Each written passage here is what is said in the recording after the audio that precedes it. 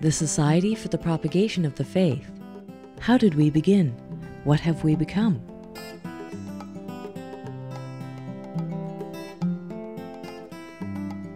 For nearly 200 years, we've been bringing the gospel of Jesus to every mission parish, diocese, or territory in need of our help.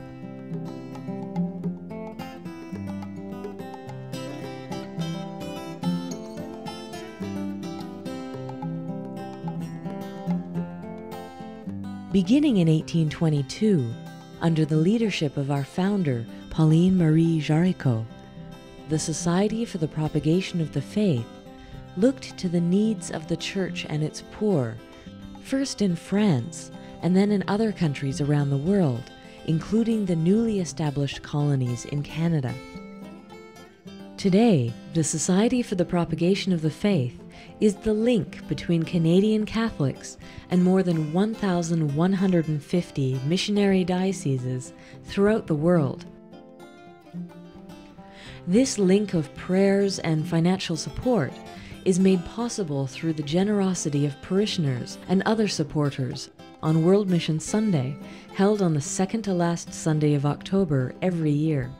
The generosity of Canadian donors and donors throughout the Catholic world supports the pastoral and evangelizing programs of the Catholic Church in Africa, Asia, and remote regions of Latin America.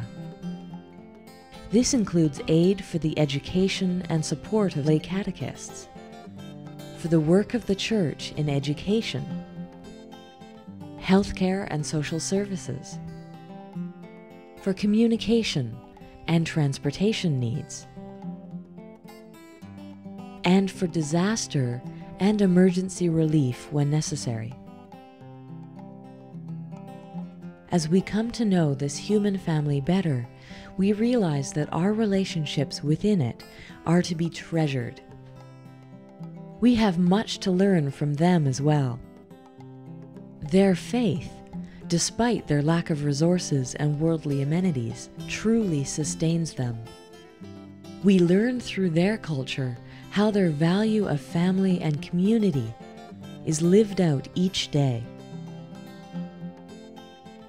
Together with the help of generous Canadians, we bring the mission of Jesus to the whole world. That is what your donations do. There are many ways to give at home, at school, and in the parish. Donate, become an annuitant. Remember us in your will. On World Mission Sunday and all year round, please be generous.